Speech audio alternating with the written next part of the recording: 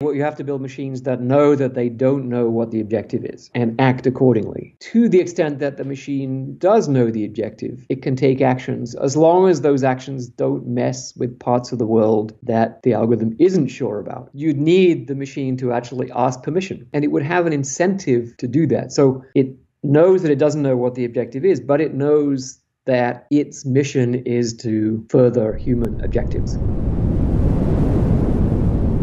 Stuart Russell, welcome to the show. Thank you. Nice to be here. What do King Midas and artificial intelligence have in common? Good question. Um, so King Midas is famous uh, in two ways, right? So he he had the golden touch, so people uh, think of him as kind of a lodestone for getting rich. Um, but the moral of the story with King Midas is he said, "I want everything I touch to turn to gold." And he got exactly what he wanted. So the gods granted his wish, and then he finds out that he can't eat because his food turns to gold, and he can't drink because his wine turns to gold, and then his family turns to gold. Um, so he dies in misery and starvation. And um, this tale is basically uh, a description of what happens or what might happen with superintelligent AI, where the superintelligent AI plays the role of the gods, uh, and we are King Midas, uh, and we tell the AI this is what we want, and we make a mistake, right? Uh, and then the AI is pursuing this objective, um, and uh, and it turns out to be the wrong one. Uh, and then we have created a conflict. We've basically created a chess match between us and the machines, where the machines are pursuing, pursuing some objective that turns out to be in conflict with what we really want.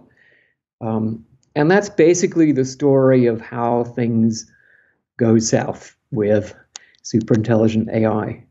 And if you look at what Alan Turing said, um, in 1951, he was on the radio, uh, BBC Radio 3, uh, the third program, and um, and he said basically uh, we should have to expect the machines to take control.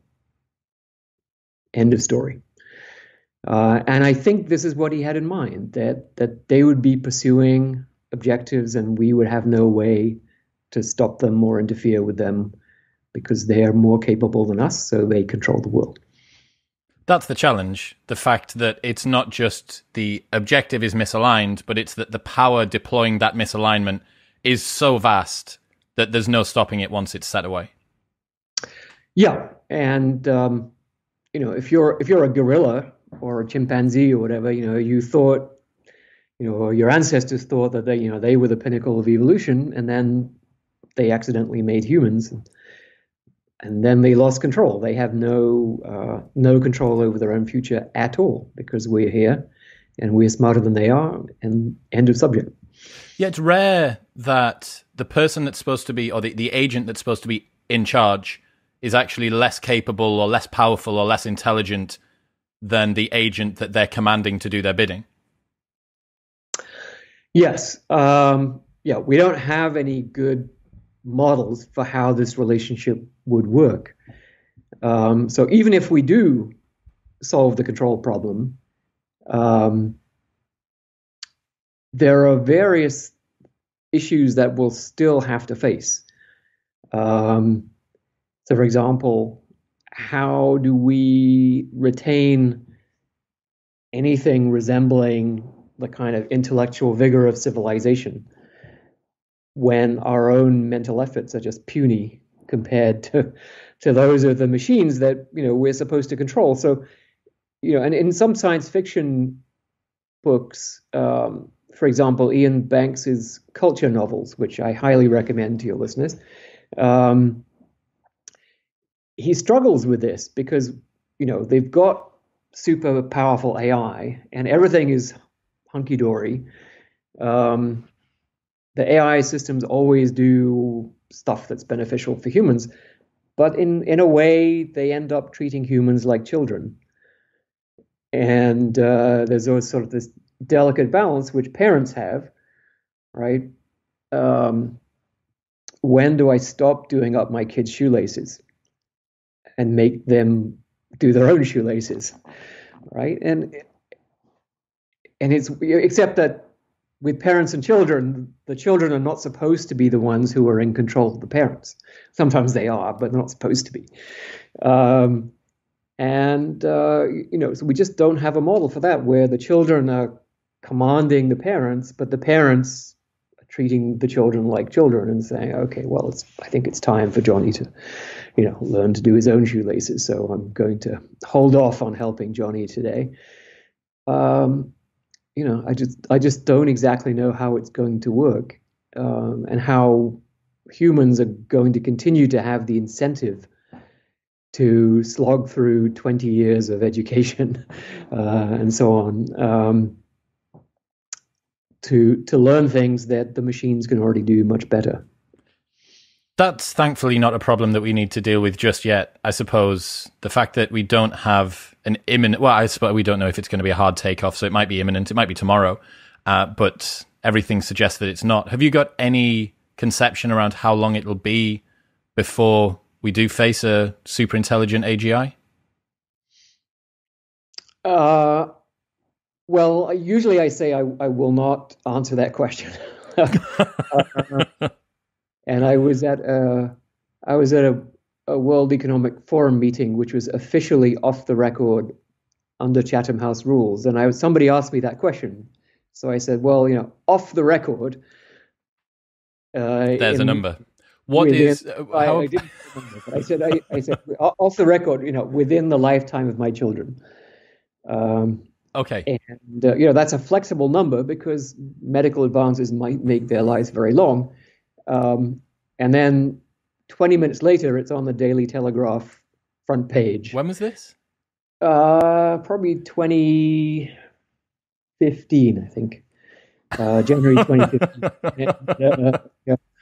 um, professor predicts sociopathic robots will take over the world within a generation. Right, that was what the headline said. So, so I, I'm, you know, even though I tried to be cautious, I still got screwed. So I think, um, so I'm actually more conservative. I, I don't think it's going to happen very soon. I don't believe that just scaling up the methods we have is going to create superintelligence. Um, you know, simply put, you make the machines faster, you get the wrong answer more quickly. What's the bottleneck that we're facing at the moment then? Is it hardware? Is it algorithms? Uh, it's definitely not hardware. I think we probably have more than enough hardware to create super intelligent AI already. Um, I think it's, well, algorithms, but it's basic conceptual gaps in how we're approaching the problem. Um, you know, our our current deep learning systems, in a real sense, don't know anything, um, and so uh, it's very hard for them to accumulate knowledge over time. What does that mean that they don't know anything?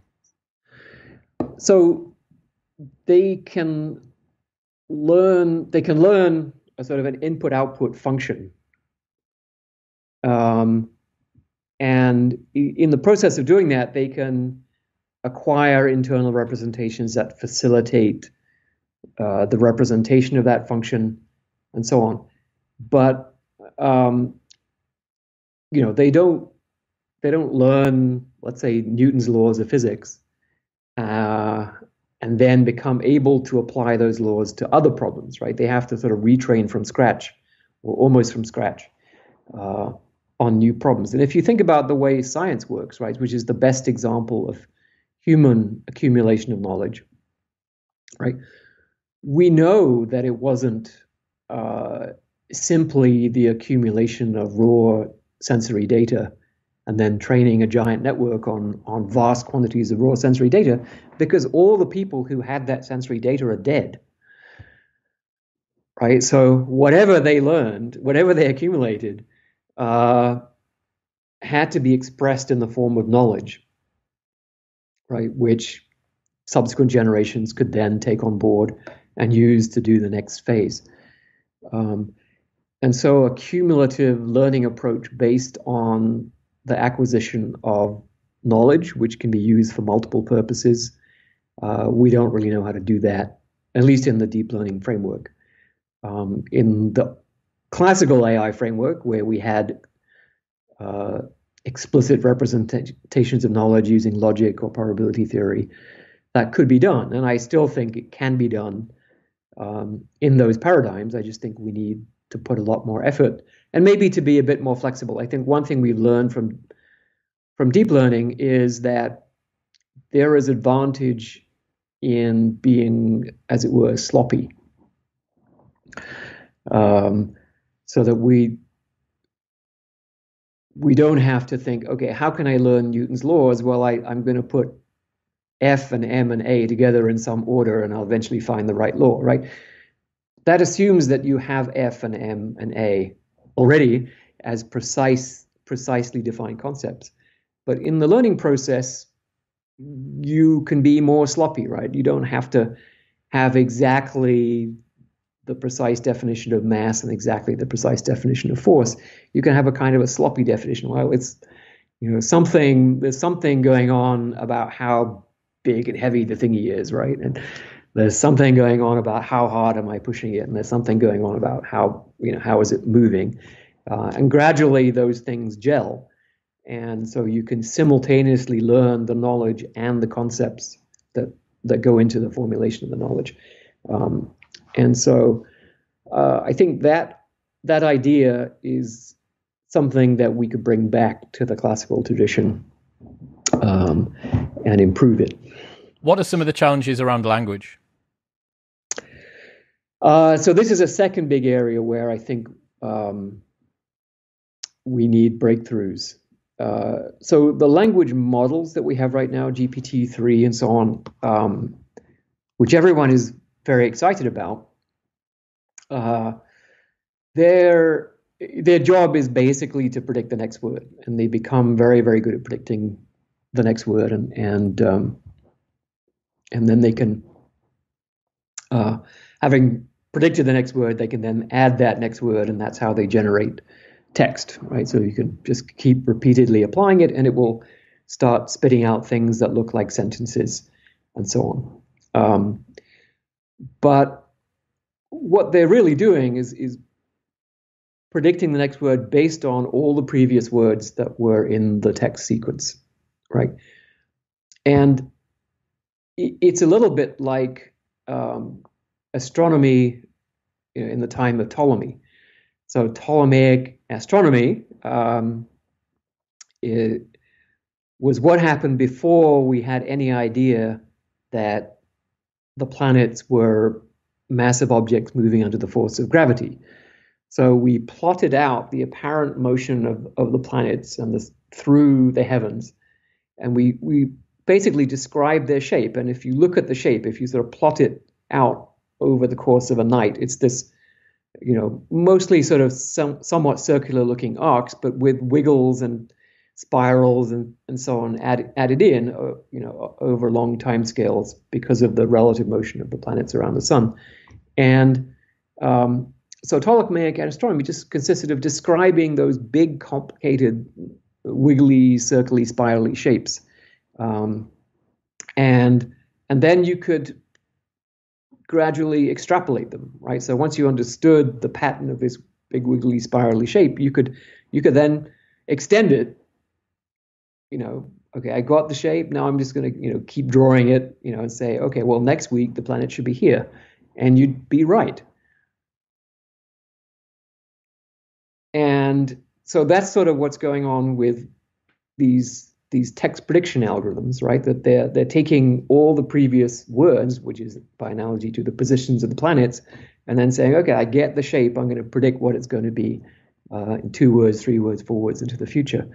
Um, but there's no sense of why right? Why is the word on the page? The word is not on the page because the previous thousand words were on the page right? That's not the real cause of why that word is there. The real cause of why that word is there is because um, there's a world outside this text uh, and someone is trying to say something about it right? Um, and that's sort of the what I call the physics of text. Right. There's That's- no knowing beyond the simple output. So this is, I guess, is this similar to a philosophical zombie in a way that you're able to output a thing that looks like it's it's a simulacrum of intelligence within a sort of narrow band, but there's nothing going on deeper below the surface. Uh, that that's one way. I'm I'm not I'm not here talking about is there real conscious understanding Yeah, of we haven't got there yet. text, but just does the does this causal model of why the text is there do you, does that approximate reality in any way? No. Right. The reality of text is that people are trying to say things. Um, and they're trying to say things about a world that they live in uh, and are acting in. So, uh, you know, the simplest model would be they're just trying to say true things, but actually they're trying to get something done in that world, and and part of getting something done is saying true things, and sometimes it's saying false things, and sometimes it's asking questions. Um, but this, you know, you can see this connection. You know, why the real world matters. Um, because statistically, the fact that there's a real world and we're all talking about the same real world means that every document in the world is correlated with every other statistically. So if one document says J.K. Rowling wrote Harry Potter, right, and another document, you know, written in Russian, you know, a year later says you know, the author of Harry Potter is, you know, what do you expect the next word to be? Well, you expect it to be J.K. Rowling because they're talking about the world. And um, even if this is a new way of saying it in a new language, uh, it's correlated through the this common hidden variable, if you like, which is the real world. And none of that is um, is there in current deep learning models of language. So I think they're fundamentally flawed. Um, and this is one of the reasons why they take trillions of words of text. I mean, they read about as much as all human beings in history have read, right? Uh, you know, and, and so, and, and they're still, you know, they still make stupid mistakes they still kind of lose the plot, right? One of the things you see is that because they have a, you know, they're predicting the next word based on a relatively limited memory of the previous text, they kind of lose the plot. So as they go on, they'll start either repeating themselves or uh, contradicting them what they said earlier on in, in, in the text and so on. Um, so, uh, you know, having said that, they do exhibit quite impressive kind of short-term recall and question answering. Um, and uh, and a certain amount of generalization is going on, right? Because you can you can see that because you can you can ask them questions or you can tell them things using uh, a name or a place that they've never ever seen before, and then you can ask them questions about that name or that place, uh, and they'll answer it correctly. So there's there's some generalization going on, right? They, they've learned a general pattern, and then they're able to instantiate the general pattern with particular people or places or whatever it might be. And so, um, you know, that that's a sign that learning has happened. But generally, we don't understand what's going on beyond that, and so we don't know when they're just spouting gibberish. Right? You think it's answering your question, and actually, it's just spouting complete gibberish. You don't know. I suppose the challenge here is that the main way that we communicate is through language. So if you're not a computer programmer and you wanted to have a conversation with a super intelligent AGI home assistant, you would need to tell it what you mean. It would not only need to be able to understand the words that came out of your mouth, but our language, our use of language is imprecise also.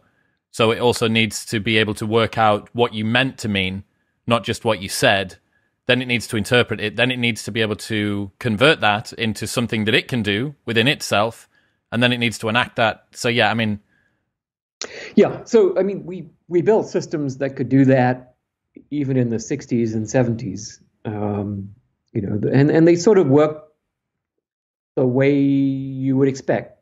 They they understood the structure of the language. They what's called parsing the sentences, so figuring out what's the subject, what's the verb, what's the object, um, and then converting that into an internal logical representation, and then doing the reasoning necessary to answer the question or to add the fact to, to the system's internal knowledge base, uh, and then generating uh, answers to questions and converting the answers back into language. You know, so that that process, you know, we've we've known how to do. It's just been very difficult to make it robust because the variety of ways of saying things is enormous. Um, you know, we speak in ways that aren't grammatical but are still perfectly comprehensible. Um, you know, we do things like lie, right? The last thing you want to do is is for the system to believe everything everyone says, because uh, then it, then it's very easy to manipulate. So it has to understand that what we're, you know, what's coming out of our mouths is, as as Wittgenstein put it, is a move in a game, right? It's not gospel truth; it's an action that we are taking, and the action might be to try to fool you or to try to make you do something that you wouldn't otherwise do or whatever. So that you know that level is completely not there, right? You can uh, GPT three takes all text as gospel truth or whatever, right? It doesn't distinguish between fiction and and fact, between propaganda and truth, and so on. It just it's all just text. What are some of the big ways that we could get artificial intelligence wrong? So I think the um, the current approach to AI, which has been there really since the beginning, and, and in the book Human Compatible, I call it the standard model, uh, which is a, a, word that people use in physics to refer to you know all the laws of physics that we pretty much agree are right. Um, so in AI, the standard model has been to build machines that uh, that behave rationally, and and this notion of rational comes from philosophy and economics that you you take actions that you can be expected to achieve your objectives. Right? and that you know that goes back to Aristotle and, and, and other places. Um, so we took that model uh, and we created AI systems that fit that model. Now with people we have our own objectives so we can be rational with respect to our objectives. Of course machine doesn't have objectives intrinsically so we put the objective in, and it seems like a perfectly reasonable plan, right? I I get in my automated taxi, I say, take me to the airport, right? That becomes the taxi's objective, and then it takes me to the airport. It figures out a plan to do it and, and, and does it, right? Um, and uh, pretty much all AI systems have been built on this basis that um, uh, one of the inputs that's required to the algorithm is the objective. You know, if it's uh, a game playing program, you know, the objective is checkmate or whatever the whatever it might be. If it's a, a, a route planning algorithm, then it's the destination. If it's a reinforcement learning algorithm, then it's the reward and punishment definition, um, and so on. So, and this is this is a pretty common paradigm, not just AI, but uh, you know the control theory systems that fly our, our airplanes, right? They they minimize a cost function, so the engineer specifies a cost function which penalizes deviations from the desired trajectory, you know, and and then the algorithms, you know, will optimize a given cost function. Um, and uh, Okay, so what's the problem with that? The problem is, as I, as I mentioned earlier, you, brought up King Midas, we don't know how to specify the objective completely and correctly. And so for artificially defined problems like chess, it kind of, you know, chess comes with a definition of checkmate. So it's, you know, it's sort of fooling us into thinking that this is an easy problem to specify the objective. But take the, you know, the automated taxi, the self-driving car, right? Is the destination the objective? Well, better not be because you know then it might drive you there at 200 miles an hour, and you know you you you come home with 50 speeding tickets, and uh, if you weren't dead, you know. So obviously, safety is also part of the objective, right? Okay, well, fine, safety, but then how do you trade off safety and getting to the destination, right? Um, if you prioritize safety above everything else, then you're never going to leave the garage because just going out onto the road incurs some risk. Right, well, okay, so now we have to put in some trade-off between safety and making progress. And then you've got, you know, obeying the laws. Then you've got not pissing off all the other drivers on the road. Uh, you know, then you've got not shaking up the passenger, right, by starting and stopping too much. And uh, and it go the list goes on and on and on. And the self-driving car companies are now facing this problem, and they have whole committees, you know, and they have meetings all the time trying to figure out, okay, we get the you know the the latest data from our cars in the field and all the mistakes they made, and you know tweak all the objectives to get them to behave better and and so on. So even for that problem, it's really hard. And if you had something like, you know, curing cancer or uh, you know, fixing the carbon dioxide levels, right? You can see how things go wrong, right? You, you want to cure cancer really fast. Sounds good. Okay, great. Well, then we'll we'll induce tumors in the entire human population, um, so that we can run millions of experiments in parallel on different ways of curing them. Um, you just don't you don't want to be in that situation, right? Um, and so the the answer, it seems to me, is we have to get rid of the standard model. Right. And so here am I, you know, I wrote a textbook based on the standard model. In fact, it's sort of in many ways it it it made the standard model the standard model, and it you know and it uh, and here am I saying, actually, sorry, chaps, um, we got it all wrong, and we're gonna have to we're gonna have to rebuild the whole field. Um, and uh, you know, so you got to get rid of this assumption that the human is going to supply the complete fixed objective. It's too complex, or it'd be too arduous. I'm going to guess to be able to program in plugging the little holes in the bottom of the boat for each one of the ways that the machine could slightly go off course. So you've got safety. Okay, we write the safety algorithm. Okay, we've got speed. We write the speed algorithm. I'm going to guess that the goal would be to get a more robust, sort of scalable, general solution to this that would be able to find a problem, a solution to all potential problems, that would be able to optimize the outcome across all potential challenges? Yeah, sort of. I mean, it's if you if so. I mean, basically, what you have to build machines that know that they don't know what the objective is and act accordingly. Um, so, what does act accordingly mean? Uh, well, to the extent that the machine does know the objective, it can take actions as long as those actions don't mess with parts of the world that the algorithm isn't sure about your preferences. Right? You know, so if if, if you if you have a machine that's going to try to restore carbon dioxide levels in the atmosphere to their pre-industrial concentrations, right? So that's a really good objective, right? Well, you know, it wouldn't be a good objective if the solution was, you know, get rid of half the oxygen, right? Because then we would all have, have, you know, slowly asphyxiate. Um, so that would be really bad. Don't do that. Um, okay, what if it means turning the oceans into sulfuric acid? Yep. Okay. No, don't do that. All right. Um, so you'd you'd need the machine to actually ask permission right? And that's and it would have an incentive to do that. So it knows that it doesn't know what the objective is, but it knows that its mission is to further human objectives, whatever they are. So it has an incentive to ask, to ask permission, to defer if we say stop, you know, that isn't what I meant, right? It has an incentive to obey because it wants to avoid doing whatever it is that violates our objectives.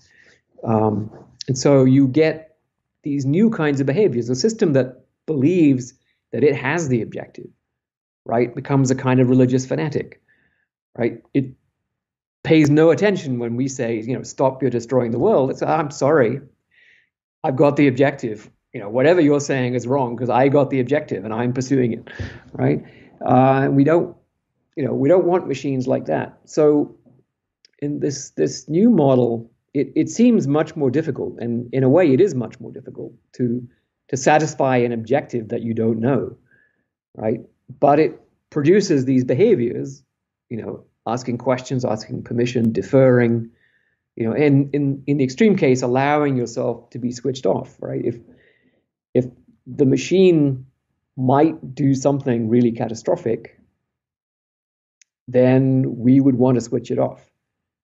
Now, a machine that believes that it has the correct objective is going to prevent you from switching it off because that would be failing, right? It wouldn't achieve its objective if it gets switched off. The machine that knows that it doesn't know what the objective is actually wants you to switch it off, right? Because it doesn't want to do anything sufficiently bad that you'd want to switch it off. So it wants, it has a positive incentive to allow itself to be switched off. And so this new model, um, I don't think it's perfect, but it's it's a huge step beyond the way we've been thinking about AI for the last 70 years. And I think it's the key, you know, it's the core of a solution uh, that will allow us, you know, not to end up like King Midas. What's not perfect about it? Um, I think the the biggest problem that I'm wrestling with right now is the fact that human objectives are actually, should we say, plastic or malleable, right? Um, and you can tell that because you know we don't have them when we're born, right? When we're born, we have pretty simple objectives, um, and uh, you know, so it's something about our culture, maturation, etc., that creates adults who have to some extent fairly definite preferences about about the future. So the way I think about it is not asking you to write them down, right? Because in the that, that's really that's really hopeless. Um, but if you if I could show you sort of two movies of the future, right? Future A, future B. Um, and you could sort of watch those and then reset yourself and watch the other one and reset yourself and then say which one which one do I prefer, right? I think that's a, a reasonable back of the envelope description of, of what we're talking about, right? The you know everything you care about in the future, and if the movie, if you couldn't quite tell whether you liked A or B because there's some detail missing, then you can get some more detail on on those parts, and um, you know a, a, future where the oceans are turned into sulfuric acid and we all die of oxygen deprivation uh, it's pretty clear that's not the future we prefer. Um, so uh, the the issue with plasticity and malleability is that um, although I might say I like future A today, right? Tomorrow I'm a new person and I might like future B instead, but it's kind of too late because now you've stuck me into future A. Um, and so the first problem there is, well, who do you believe, right? Do you, you know, you're making a decision now. Should I respect the preferences of the person now? Or should I anticipate how are you're going to change in future and respect your future self? And, and I don't, you know, philosophers haven't really given us a good answer to that question. So that's that's one part, right? Sort of deep philosophical issue um, the the more problematic part is that if our preferences can be changed, then the machine could satisfy our preferences by changing them rather than by satisfying them. Right? So it could it could find out ways to change our preferences so that we'd be happy with whatever it was going to do right? Rather than uh, it figuring out how to make us happy with the preferences that we have. Um, you know, and you could say, well, yeah, politicians do that and advertisers do that, right? They, uh, but we don't think of that as a good thing. And it could be, you know, with with machines, it could be a you know, much more extreme version of that. And so, um, so I think of what's in the book as kind of version zero of the theory, and, and version one would have to deal with this uh, with this aspect. Um, you know, there are there are other difficult questions to answer, like you know, obviously machines are making decisions not on behalf of one person, but on behalf of everybody. Um, and how exactly do you trade off the preferences of individuals, you know, who all have different futures that they prefer? And that's not a new question. Um, you know, it's thousands of years old.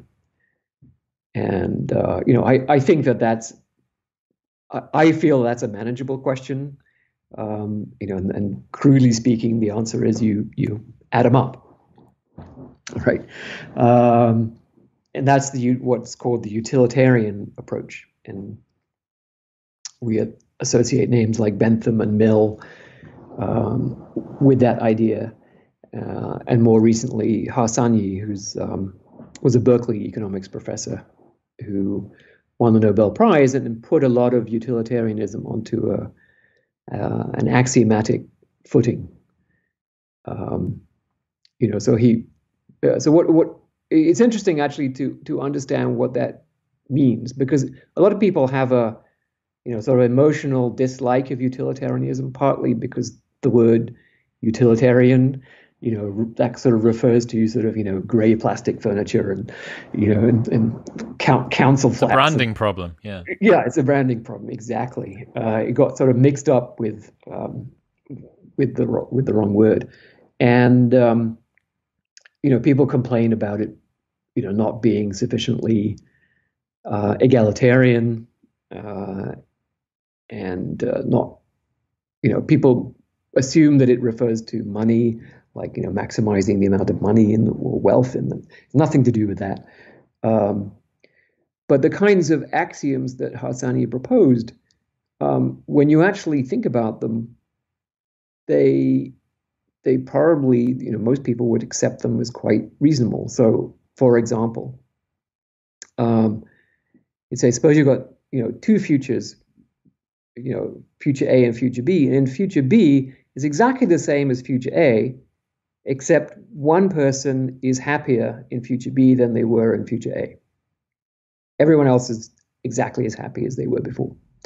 Um, he said, well, it seems reasonable that you'd say future B is better than future A, right? And um, so he has a couple of axioms like that. And from those axioms, you can derive the utilitarian solution, which is basically add them up, right? find whichever policy maximizes the sum total of human happiness. Um, and uh, you know, so I, I think there are there are various difficulties involved, right? So when you say the sum total of human happiness, are you including all the people who haven't yet been born? And if so, what about actions that affect who gets born? Right? You know, and, and that, that sounds like, you know, uh, uh, that sounds pretty weird, but actually, you know, if the Chinese government with their one child policy, right, they wiped out 500 million people with that policy, right? So they, quote, killed more people than, than anyone in history has ever killed, you know, way worse than the Holocaust, way worse than Stalin and the you know, uh, by preventing them from being able to ex- have existed. sense yeah. of preventing them from being existing. It was huge, right? Was it the right? You know, was that a moral decision? Was that the correct decision? Really hard to say, right? I mean, the reason they did it was because they were afraid that they would have mass starvation if they had too much population growth. You know, and they had experienced what mass starvation was like. So, um, you know, some it's it's arguable that it was a reasonable thing to do, but it did lead to a lot of people not existing. Presumably, and, going for right, it's really hard. Presumably, going for just raw utilitarianism has a ton of awful externalities as well, though. Like the most happiness for the most people. Okay, well, there's two variables we can play about with there. we could just make tons and tons and tons of people. And you go, okay, well, there we go. We got everyone's not that happy, but there's a lot of people, and it's actually managed to make up for it.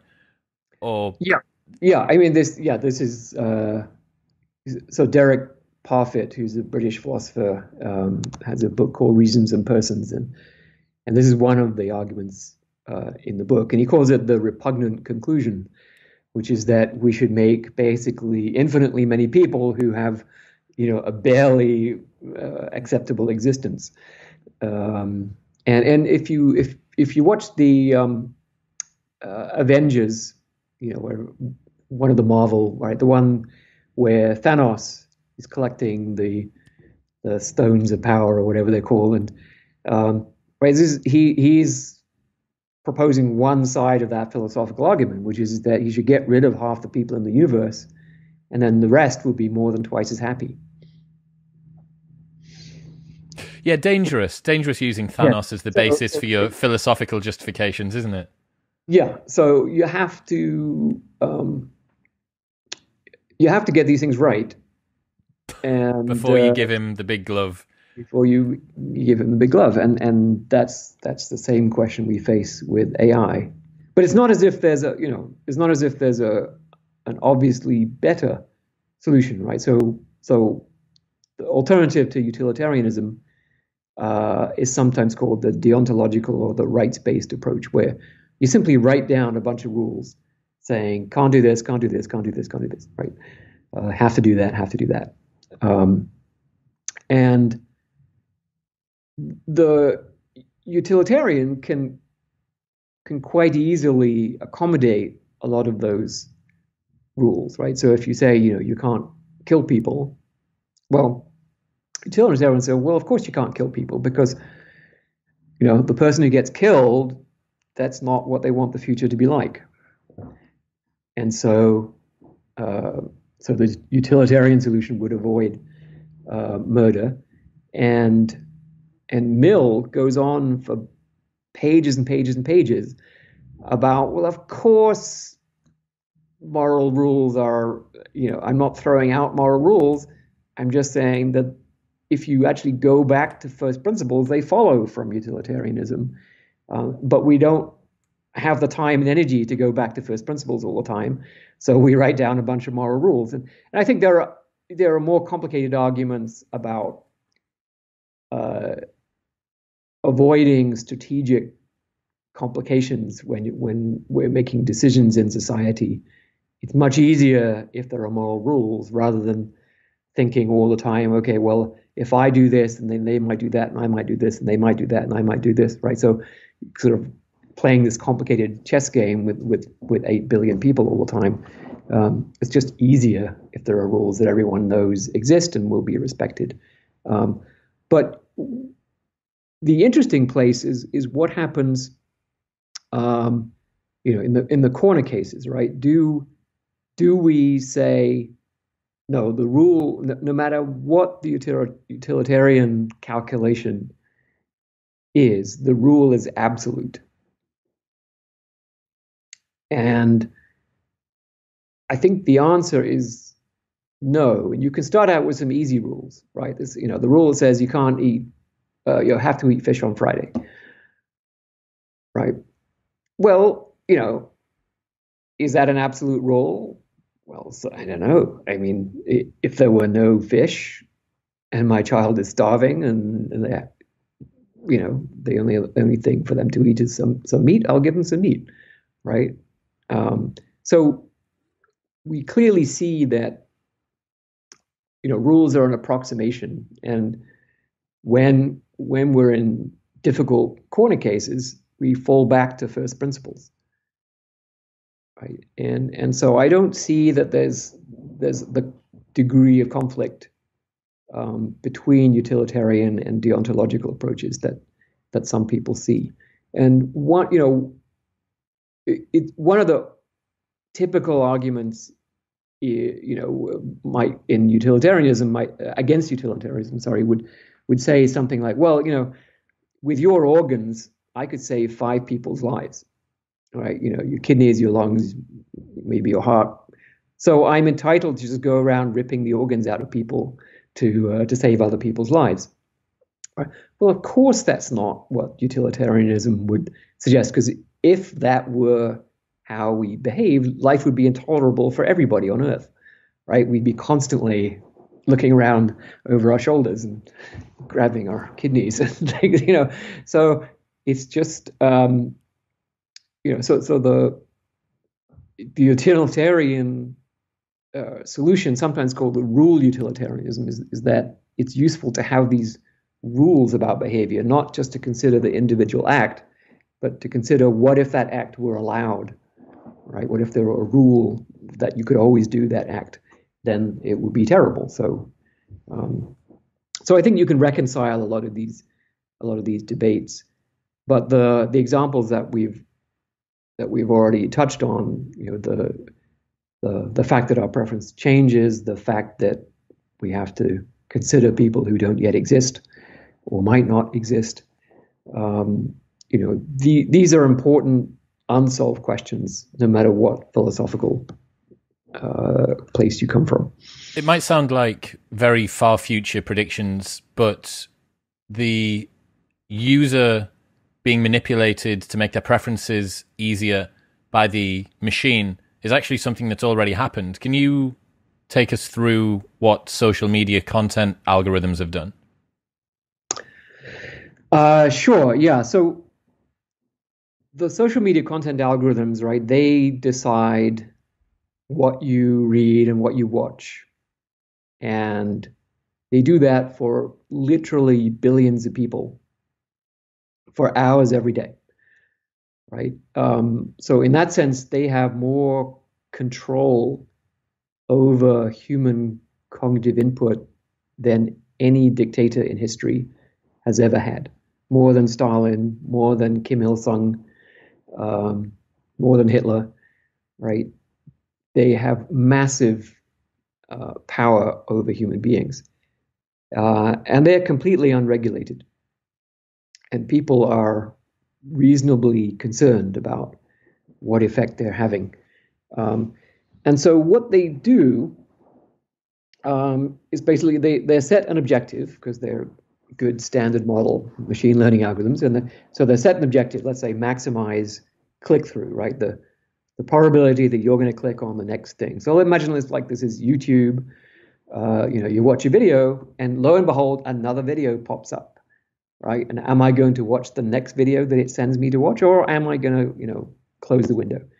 Um, and so click through or you know engagement or various other metrics, these are the things that the algorithm is trying to optimize. And I suspect originally the the companies thought, well, this is good because you know it's good for us. If they click on things, we make money, uh, and it's good for people because the algorithm will learn to send people stuff they're interested in. If they click on it, it's because they wanted to click on it. Yeah, right. And there's no point sending them stuff that they don't like. There's just cluttering up their their input, so to speak. Um, but you know, I think the algorithms had other ideas, and uh, the way um, that an algorithm maximizes click through in the long run is not just by learning what you want, right? Because you are not a fixed thing.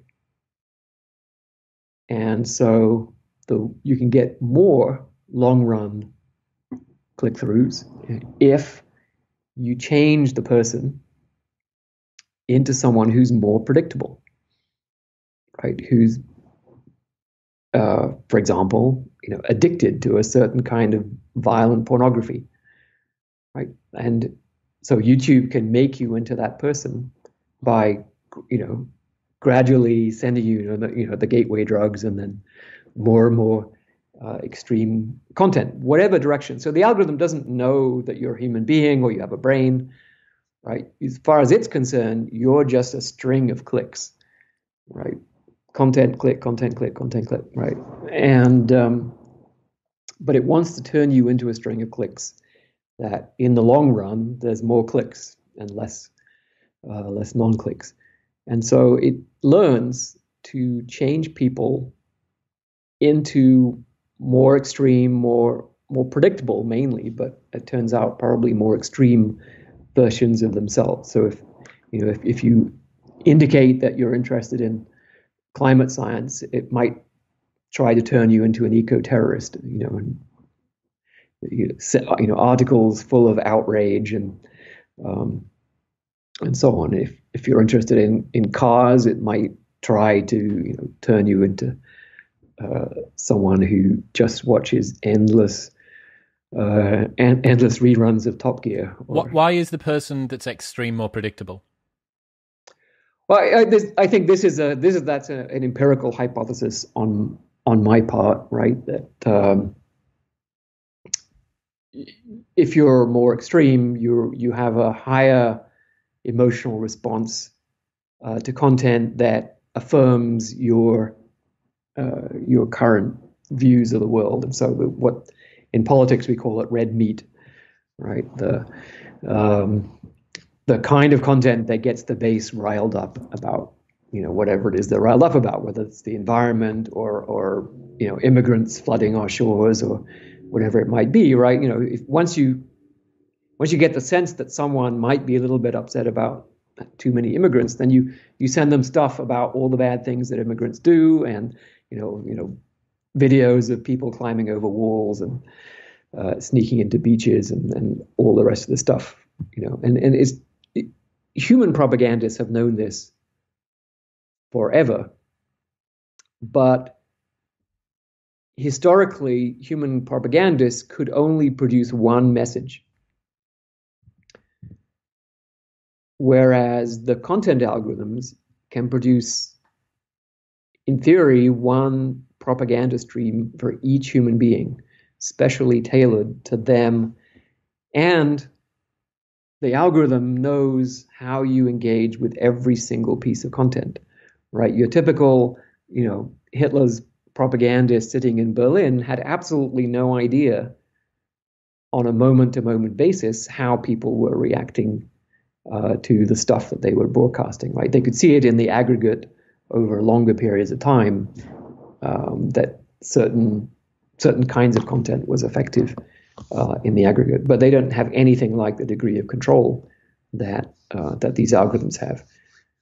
And you know the one of the strange things is that we actually have very little insight into what the algorithms are actually doing. So what I've described to you seems to be a, a logical consequence of how the algorithms operate and what they're trying to maximize. Um, but I don't have hard empirical evidence that this is really what's happening to people um, because the the platforms are pretty opaque. But they're even, they're opaque to themselves. They're opaque to themselves. So you know, Facebook's over, own oversight board doesn't have access to the algorithms and the data uh, to see what's going on. Who does? I think um, the engineers, but their job is to maximize click through, right?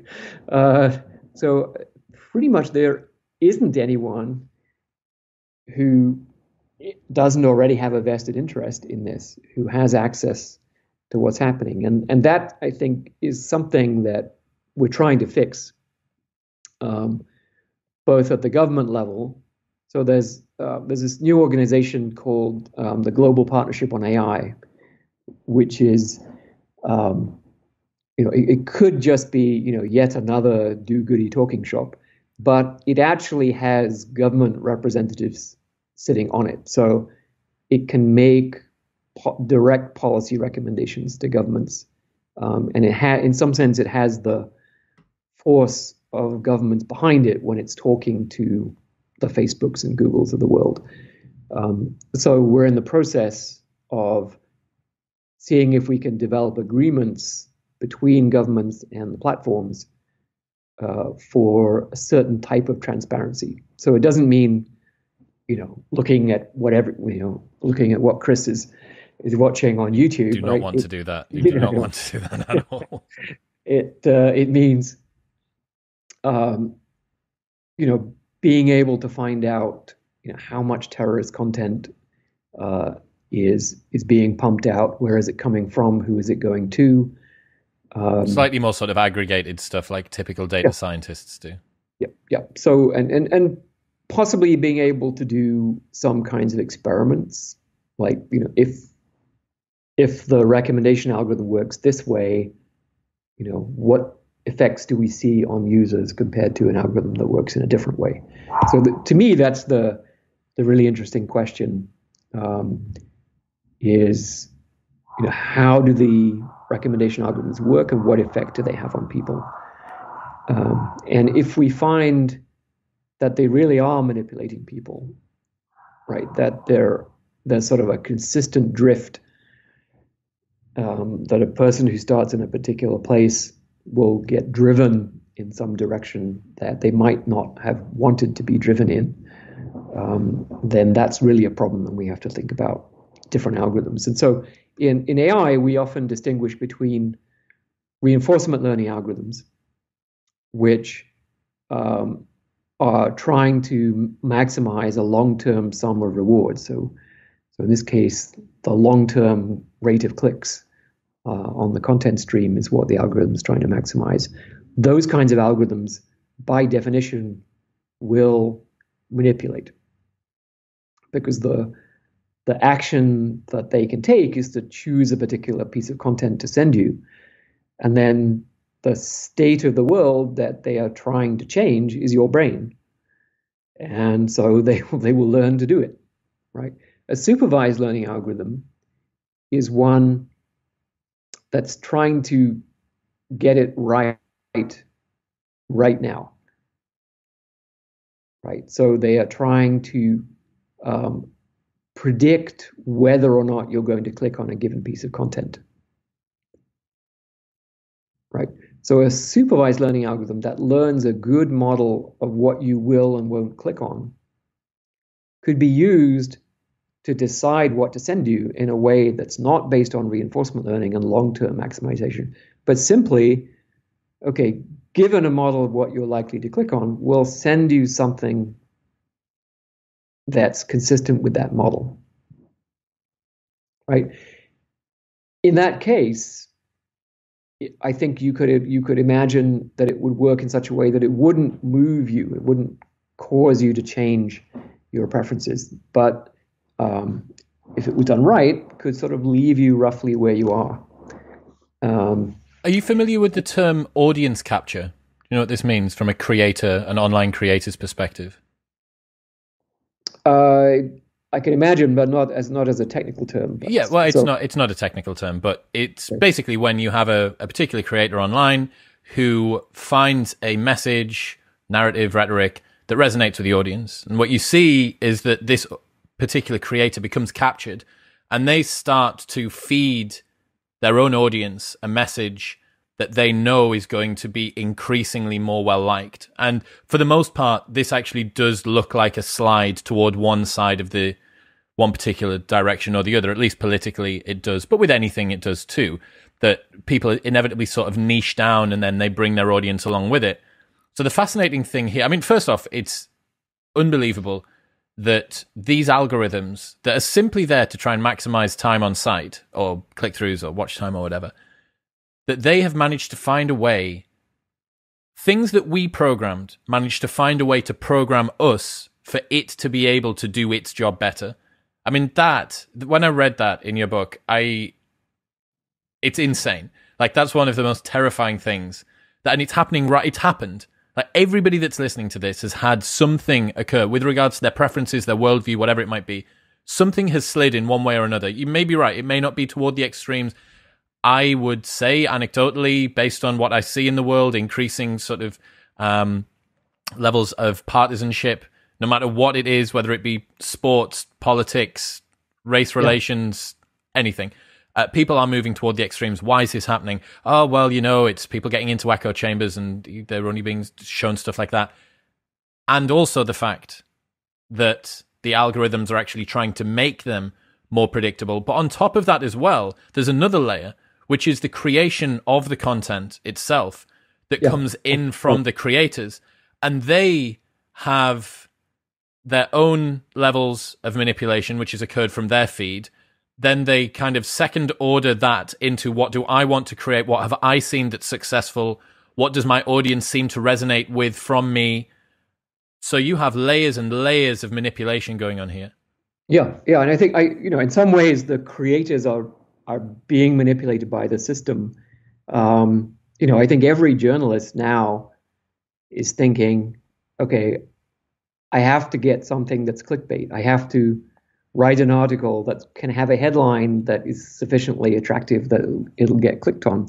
You know, and it is almost the point where the you know the headline and the article are completely divorced from each other. Um, and, and and you can see this now in the comments, right? The the people writing the comments at the end of the article will say, "Oh, I'm really I'm really pissed off. This is just clickbait." You know, the article really doesn't say anything about the thing you said you were going to say, and so on. So so this it, it was not as if this has never been going on, and obviously you can't you can't ban people from writing interesting articles or you know i often think about you know the novel and it says on the back i couldn't put it down right? Well should we ban? Novels because you know, oh that's addictive you know you can't have that right? Uh, no but i think it wasn't too bad before because the feedback loop was very slow and there wasn't this you know it, targeting of individuals by algorithms who are you know so you think about the the number of learning opportunities for the algorithm right? I mean it's billions every day for the youtube uh, selection algorithm right? So it's the the amount the consistency the frequency and the customization of the learning opportunities for manipulation so much greater. I mean it's, it's you know millions of, or billions of times greater and more systematic. And that that systematic element, so it reminds me there's this I don't know if it's apocryphal, but there's a um, there's a story about this psychology lecturer, and he's been teaching the students about subliminal uh, effects, and the you know the students decide to play a trick on him, which is you know every every time he's on the left hand side of the room, they pay attention, they're really interested, and every time he walks onto the right hand side of the room, they all really bored, you know, start checking out the email and so on. And, uh, and by the end of the lecture, he's glued against the left hand, right? And he has no idea that he's being manipulated. Um, but because of the fact that this was like systematic and uh, you know and, and, sufficiently frequent, it has a very very strong effect. Uh, you know, and I think that that the difference here is that it's because it's algorithmic um, and it's tied into this very high frequency interaction uh, that people have with social media. It it has a huge effect, um, and it has a I think a pretty rapid effect as well. What are some of the concerns you had? You mentioned it earlier on about is it enfeebled, becoming too enfeebled to the machines? Uh, yeah, so this is, I think, one of one of two major concerns, you know, if we manage to create superhuman AI and to control it, um, one concern is um, the misuse concern, right? So I call it the Dr. Evil problem, right? Dr. Evil uh, doesn't want to use the provably safe, controllable AI. He wants to make his own AI that's going to take over the world. And, and you can imagine that gets out of control and then bad things happen. Um, the enfeeblement problem is sort of overuse, right? That we, um, because we have available to us AI systems that can run our civilization for us, um, we lose the incentive to know how to run it ourselves. And um, that problem you know it it's really it's it's a really hard problem to figure out how to prevent it because inevitably the AI would have to make the human do something that probably in the moment the human didn't want to do. The AI would actually be programming itself to be less useful than it could be in order to give us a sort of hormesis stressor dose that allows us to stay useful. Yeah, I mean it, it's um, so when I say overuse, I mean I, I literally mean that, right? That we would use AI too much for our own good. Um, and uh, so E.M. Forster has a story, you know, so he usually wrote, you know, late Victorian, early Edwardian social, you know, British upper class social issue kinds of novels, but um, he wrote a science fiction story called The Machine Stops, which I also recommend to your audience. Um, and um, it's it's quite amazing, right? It it uh, it has the internet, email, uh, MOOCs. When, when was it written? 1909. It has uh, iPads, video conferencing. Um, you know, people are obese because they never get out of their chairs. They're stuck on the computer all the time. They start to eschew face-to-face contact um, because they are um, uh, basically glued to the screen and, uh, and lose contact with the physical environment altogether. You know, all the kinds of things that people complain about now, uh, he wrote about. Um, and and the machine, right? So it's not just the internet; it's the whole. It's a whole. It's called the machine that looks after everyone's physical needs, and so, um, so they just spend their time glued to the screen. They don't know how the machine works anymore, and uh, they don't need to because the machine runs itself. And then, of course, it stops running itself and things go south. Um, but you know, I, I, did a little back of the envelope calculation. So it turns out that that about hundred billion humans have lived, and um, our civilization, right, is passed on by teaching the next generation of humans everything we know, and then maybe they'll learn a bit more, right? And if that process fails, right? You know, if it goes into reverse, that the next generation knows less, right? Then, then things you could imagine things unraveling, and um, you know, so the total amount of time is uh, spent just passing on civilization is about a trillion person years of effort, and for that to end would be the biggest tragedy uh, that one could possibly imagine, right? But if we have no incentive to learn it all, because finally, right, instead of having to put it into the heads of the next generation of humans, we can just put it into the heads of the machine, and then they take care of it, right? Um, and if you've seen Wall-E, right, that's exactly what happens, right? And they they even show what happens to the generations over time, right? They become stupider and fatter, and um, unless you know they they they can't run their own civilization anymore. Um, so the machines should say because this is such an important thing, right? The, it's of value to us and to our descendants that we are capable, that we are knowledgeable, we know how to do things, um, that we have autonomy uh, and intellectual vigor. Those are really important values. But so the machines should say, Okay, we are going to stand back and let these humans. They have. We have to let the humans tie their own shoelaces. Right. Otherwise, they'll never learn. Um, but we, right, we are short-sighted, lazy, greedy people, and we might say no. You have to tie our shoelaces. We keep doing that, and then uh, we then we lose that autonomy and that intellectual vigor. So this is a cultural problem, right? It's a, it's a problem with us. The technology might be saying, no, no, no, no, no, no, but we're overriding it. And, you know, all of these problems, way. all of these problems are problems with us. The problems are the fact that our goals are plastic, the fact that our language is imprecise, the fact that we are sometimes rational, sometimes irrational, that we don't have a, an omnipotent view, that we can see what we want when we're going to want it.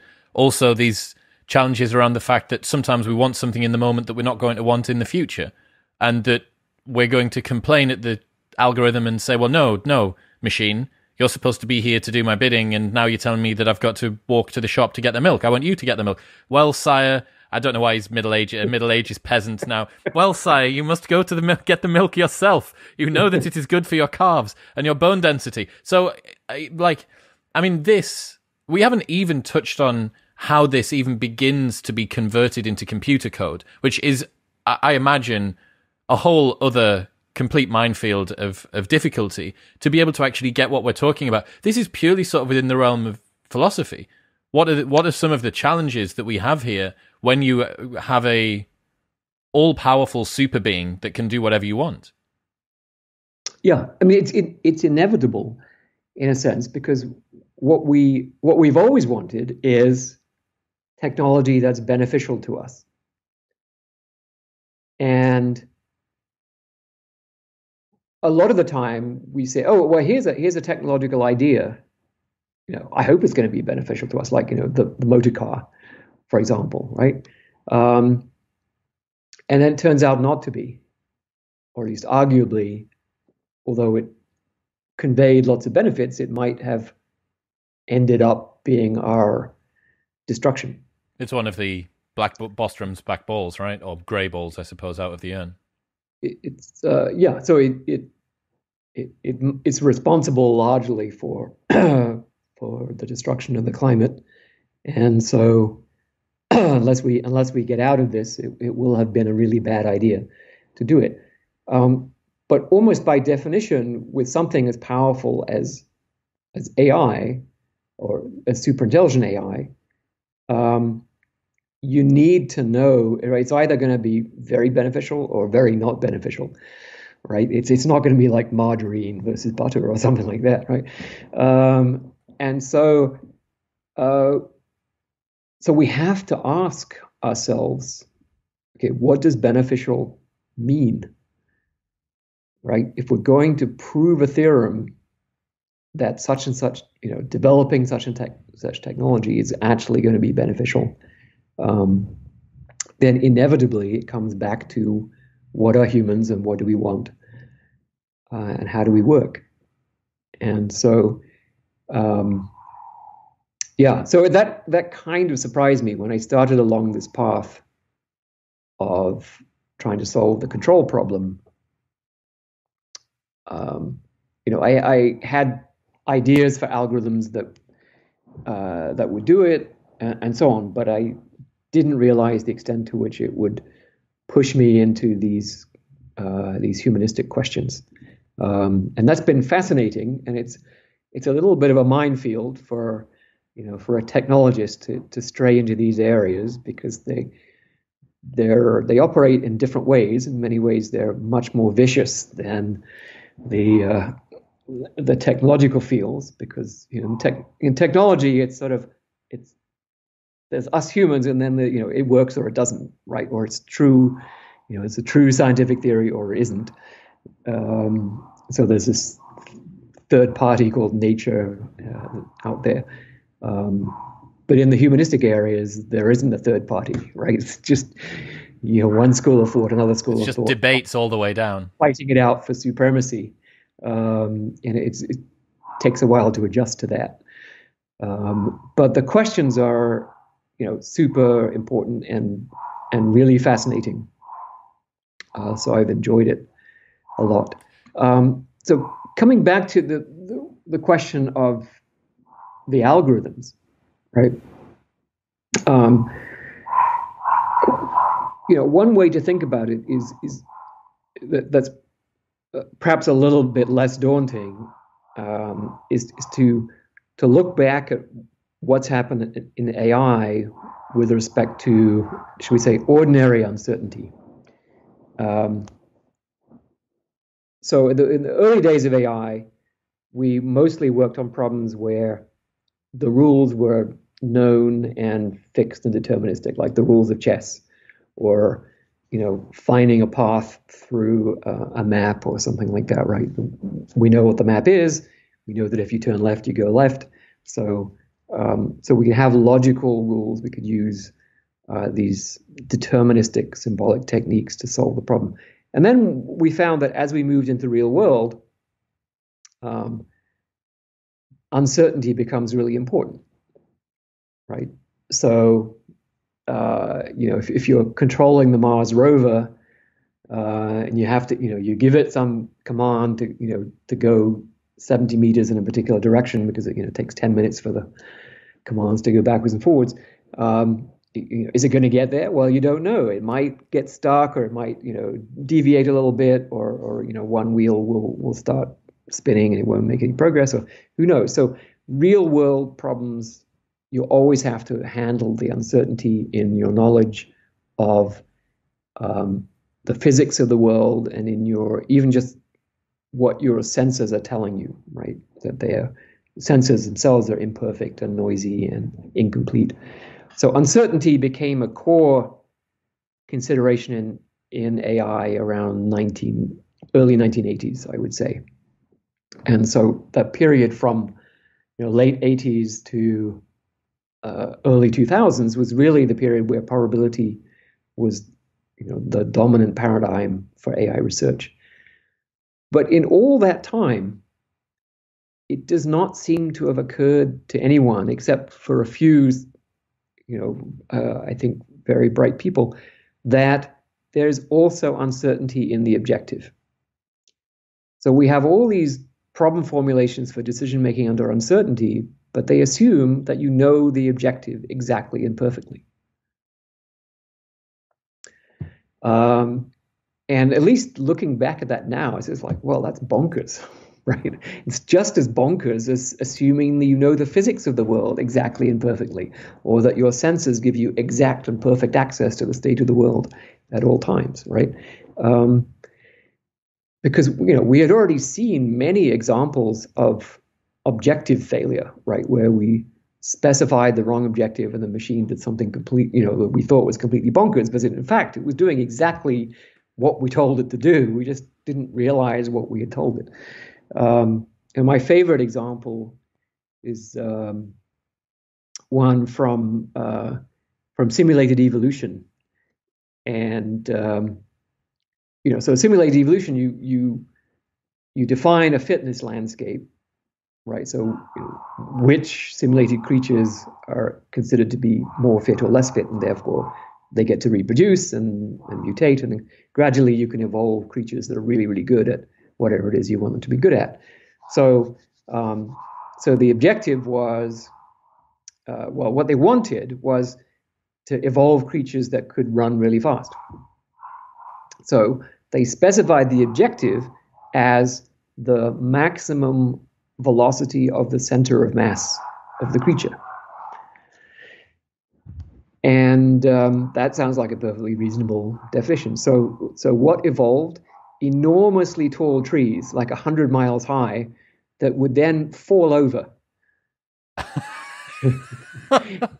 and, uh, and, and in falling, they went really, really fast. So they won the competition, right? They they they they, they turned out to be the solution to that problem. Someone right? thought and, they were going to get some supercharged nitro cheetahs or leopards or something. And exactly. Instead, yeah. you end up with trees reaching up into the stratosphere and then falling all over the place. Yeah.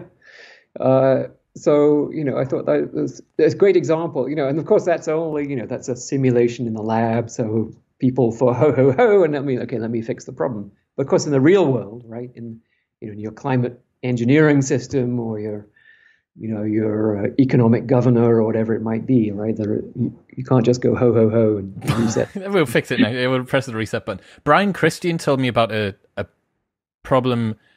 Robots playing football, and they'd put a very small utility function in for gaining control of the ball. Possession is an instrumental goal towards scoring. The, you can't score if you don't have the ball. And right. what the robot found was that it could actually maximize its utility function by going up to the ball and vibrating its paddle 100 times a second up against the ball, which is far easier than actually trying to score. Yep. It ended up thinking it had done really great, and the guys just had these sort of seizuring robots all over the pitch, vibrating up against the ball.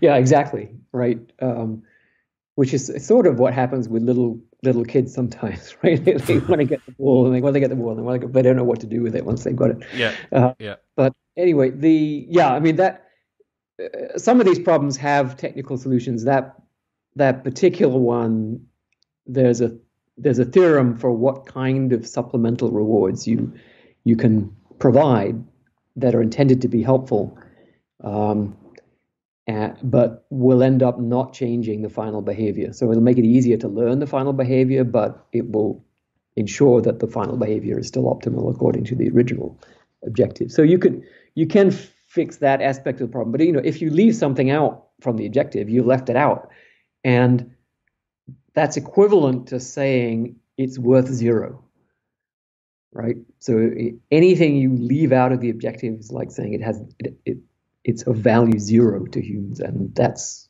you know that's a big problem. So you you almost always want to say, well, I told you some of the things I care about, but there's other stuff I haven't told you, and you should be aware of that. It feels to me like there's sort of two cars in this race. On one side, we have technological development that has lots of facets, hardware, algorithms, so on and so forth. And then on the other side, you have the control problem. You have getting the alignment right. It has to be that the alignment problem gets across the finish line before the technology does, or else we are rolling, essentially rolling the dice and hoping that we've got it right by some sort of fluke. And I imagine that there are far more ways of getting it wrong than there are of getting it right. Yeah. Well, I mean, getting it wrong is actually the default, right? If we just continue pushing on the AI technology in the standard model, we'll get it wrong. Are you so is there any chance that if you continued with the standard model that it could be right or would you give it such a low chance that it's negligible? Uh, I think it's negligible and or you know, arguably what's happening with social media is an example of getting it wrong. Um, you know, and I, I, there are other people have pointed out that you know we don't need to wait for AI corporations that are maximizing, you know, quarterly discounted profit stream are also examples of machines pursuing incorrectly defined objectives that are destroying the world. Uh, and you know, it, you could, if you look at the climate issue from that point of view, I, I find it sort of enlightening. Right? We we have been outwitted by this AI system called the fossil fuel industry, right? It happens to have human components, but the way corporations are designed, right? They are they are machines with human components, and um, actually, the individual preferences of the humans in those machines don't really matter very much, um, because the machine is designed to maximize profit, and uh, and they outwitted the human race. They developed, you know, for more than fifty years, they've been running global propaganda and uh, subversion campaign to keep, you know, to enable them to keep um, selling uh, fossil fuels, and they won. Right? We can all say we're right, or we know we know that we shouldn't be doing this, and we know that uh, we know the causes of climate change, and right, but we lost.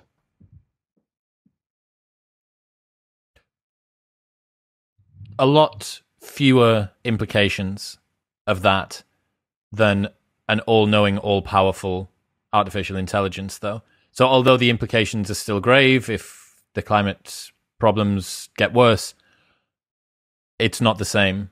And again, this the control problem simply has to get across the line. If you're essentially adamant that currently, if you scale up the competence, not probably not comp- the power, I suppose, of mm. the computation that we have, um, it's bad. It's bad. It's it's a bad situation. Yeah. But obviously, so, you have the difference is the irreversibility, right? I mean, it, climate change probably isn't going to make us extinct, you know, unless unless there's some real chaos theory catastrophe that happens. Um, and uh, eventually, we'll all be so fed up that we actually retake control from the fossil fuel industry, and that's sort of happening. Um, but yeah, with AI, it could be irreversible. There's loss of control. Uh, and you know, if if if I'm right that examples like sh- social media are showing that we are already seeing the negative consequences of incorrectly defined objectives and and you know even relatively weak machine learning algorithms that are that are pursuing them, um, then we should pay attention, right? These are the canaries in the coal mine. We should be saying, okay, we we need to slow down and we need to you know look at this different paradigm. And you know the the standard model is sort of just one corner right? It's the corner where the objective is completely and perfectly known or at least that's the that's the corner where it's appropriate to use the standard model right? And there's this all the rest of the building we haven't even looked at yet right where there's uncertainty about what the objective is and the system can uh, behave accordingly. Um, and we've just, you know, just in the last few years, have we had any algorithm that can solve uh, this new category of problem? And it does. I mean, so the algorithms exist, right? They're they're very simple and they work in very uh, restricted and simple um, instances of the problem, but they they show the right properties, right? That they they defer, they ask permission, um, they understand what the human is trying to teach them about about human preferences, and um, you know it, se- it seems our job in what's called, for want of a better word, the AI safety community. Our job is to build out that technology to create all the new algorithms and theoretical frameworks and, and, and demonstration systems and so on to convince the rest of the AI community that this is the right way to do AI.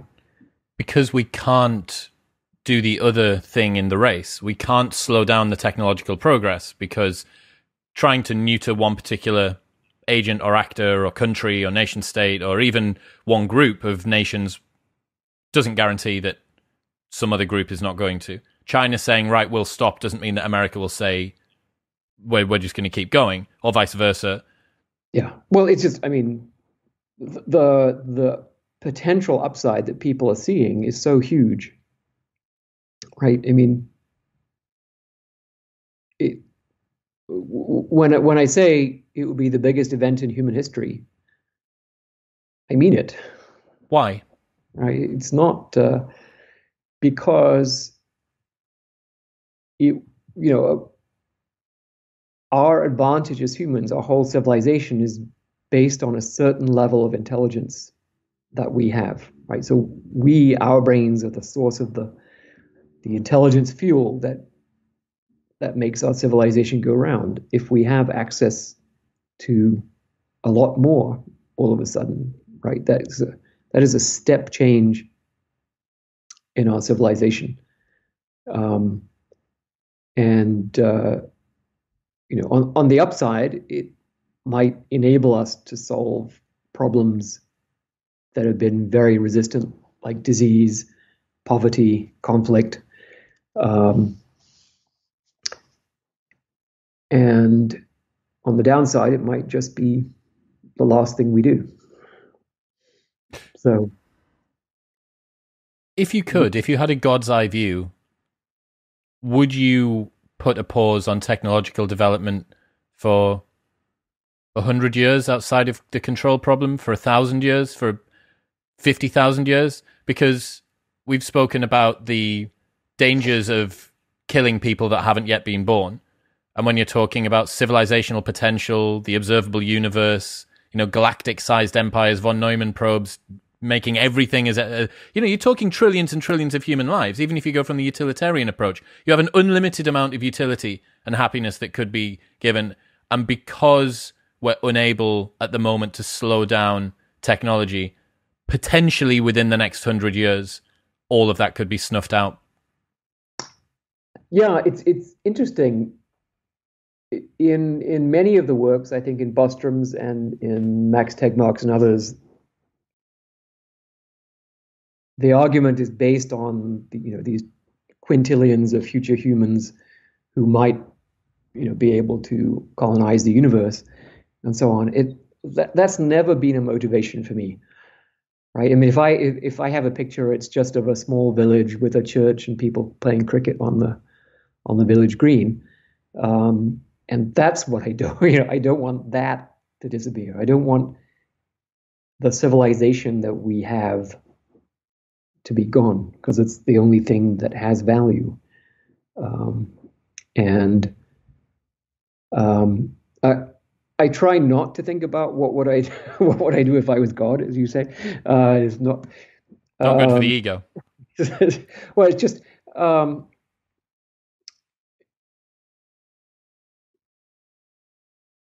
I, mean, obviously, I don't. Ha- no, no one I think is going to be able to switch off um, scientific progress. You know, it it there are precedents. Um, the biologists switched off progress on direct modification of the human genome uh, in ways that are what they call heritable modifications, germline editing. Um, they switched that off. They said, you know, in 1975 or gradually from 1975 onwards, they they decided that that was not something they wanted to do. Which is interesting because a large part of the history of genetics and that whole branch of biology, um, the improvement of the human stock was actually one of the major objectives. Um, you know, and eugenics before the Second World War uh, thought of itself as, as a noble uh, a noble mission you know, you could argue about about that, but um, but the biologists to say, you know what, we could do this, but we're not. Right. Um, that was a big step, and you know, is it possible for that to happen in AI? I think it's much more difficult um, because in biology, right, we are continuing to understand, right? So the uh, developmental biology, right? So how does a given DNA sequence produce an organism, right? And what goes wrong? And you know, is, it a problem uh, with the genes or a problem with the the development environment of, of the organism or or what? Um, and if you understand all those questions, then presumably you could you could then say, okay, now I know how to modify the human genome so we can avoid all those problems. Um, so the the scientific knowledge is moving ahead, but the decision is we're not going to use that knowledge for that kind of thing, and you can draw that boundary pretty easily because you know we're talking about physical you know physical procedures involving actual human beings and uh, and so on. And and that's been regulated for many decades already. And and so with AI once you understand how to do something it's pretty much done right there. Um, mathematics and code are just two sides of the same coin. And uh, you know co- mathematical ideas you, you can't go around looking at everyone's whiteboard and saying okay i see you've got you know sigma for x equals one okay stop right there right yeah that's that's one too many greek symbols you got to stop writing right it's, you know so we because the question of you know, decision making and learning and so on. These are fundamental questions. We can't stop research on them. So I have to assume that the scientific understanding of how to do it is just going to continue to grow. Um, if if it was the case, which some people seem to think, that to go from a scientific understanding to a deployed system would require, you know, some massive gigawatt installation, you know, with billions of GPUs and so on and so forth, then then perhaps you could regulate at that point, Right? Because there would be a physical limitation that would be quite easy to enact. Okay, you can't have this many, this much power, this many. I'm going to guess that you feel otherwise that you don't need that much hardware to run something that could be quite dangerous. Correct. Yeah, I, I think we already have enough power, as I said, um, and uh, you, you know, it's, it's it's very hard to do meaningful calculations, but in just in terms of raw numerical operations per second.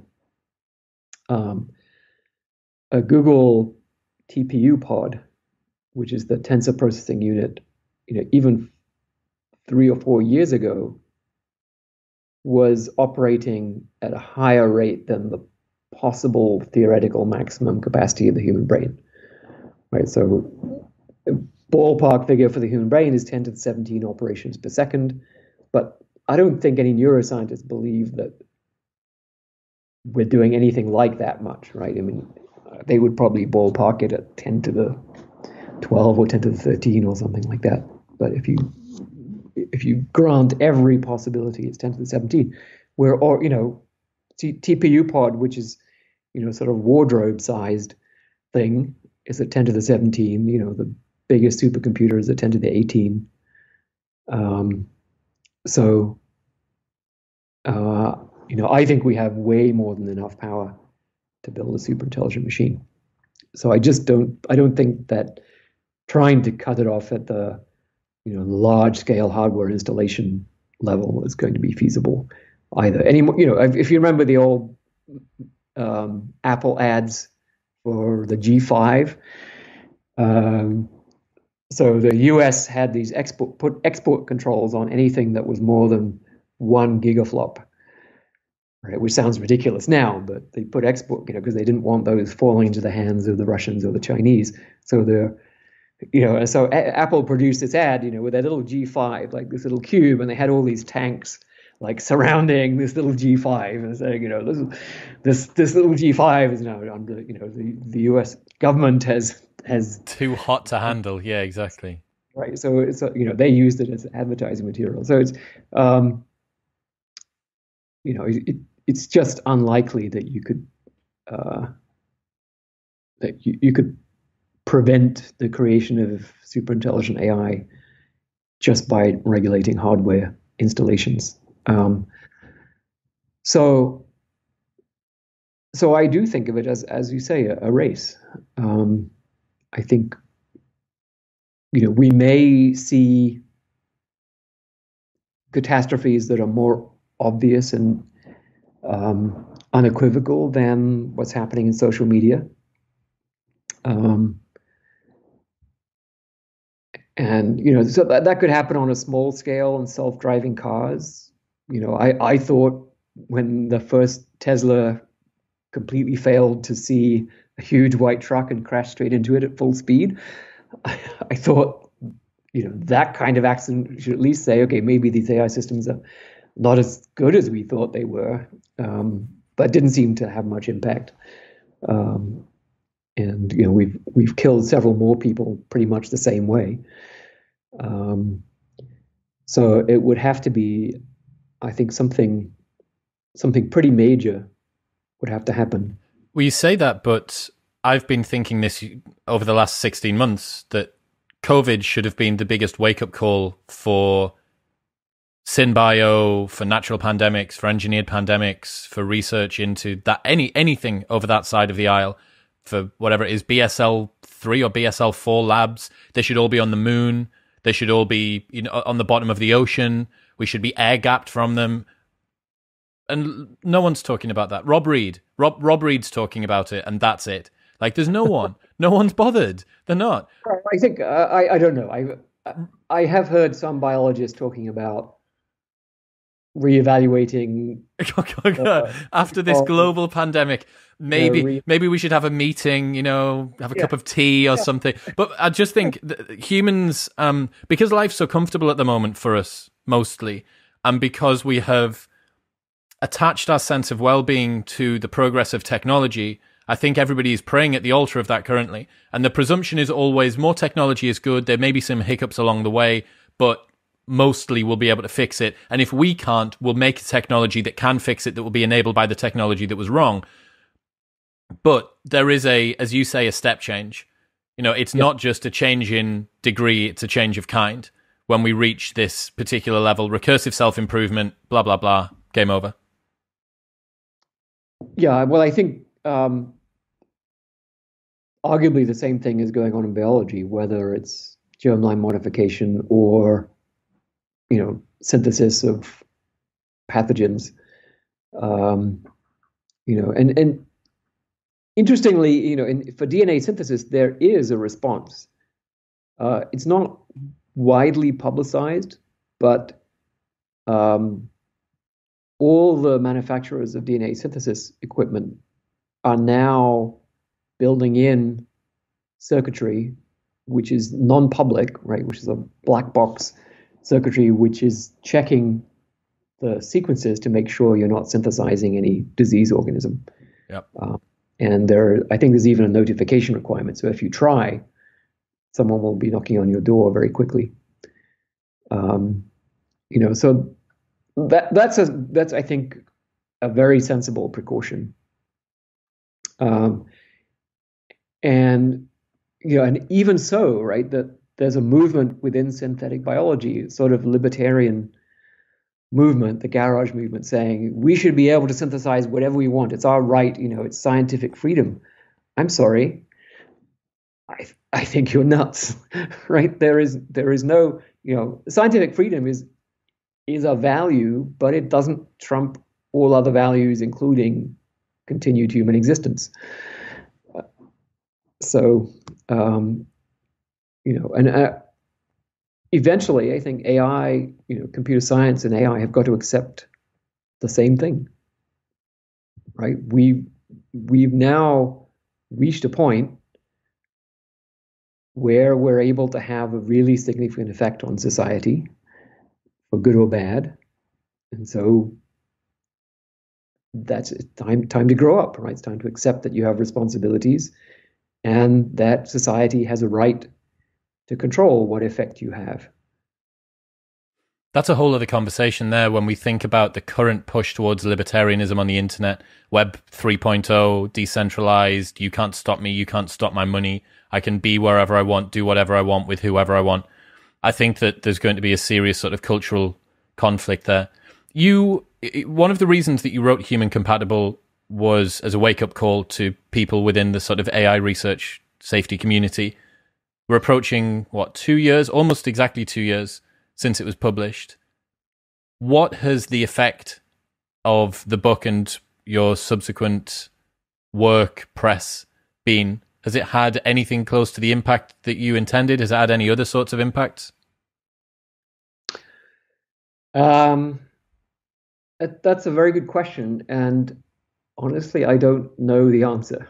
Um, there's certainly more academic interest in these topics. Um, you know, the num we have a center at Berkeley, and the number of people coming to the workshop has been increasing rapidly. Um, you know, workshops that we hold at at the main conferences are growing really fast, hundreds and hundreds of people. Um, I often, you know, I get emails from all kinds of AI researchers who say, you know, okay, I, I agree with everything you're saying in the book. You know, how how can I redirect my research um, to be helpful in this? Um, I believe, based on various sort of grapevine uh, dribs and drabs, that the questions of uh, control have filtered up to the highest levels of government in various countries. Um, that this is now one of the risks that's considered, you know, when, when people take stock of, okay, what, what do we need to pay attention to uh, over the horizon? This is one of the re- one of the risks. Um, but you know, on the other hand, I, I if I was just a you know mid mid level AI manager in in a technology corporation, uh, you know, would I change what I'm doing? Well, I think my my recommendation is is always look at the objective that you're specifying for your algorithms.